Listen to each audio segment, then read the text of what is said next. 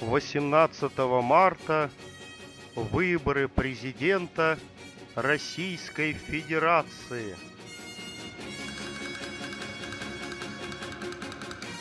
За кого голосовать на выборах? Выбор очевиден. За известного подводного археолога.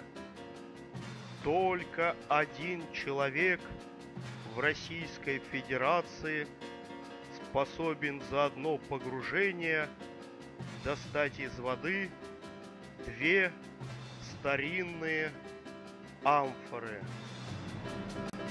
Выбор президента очевиден –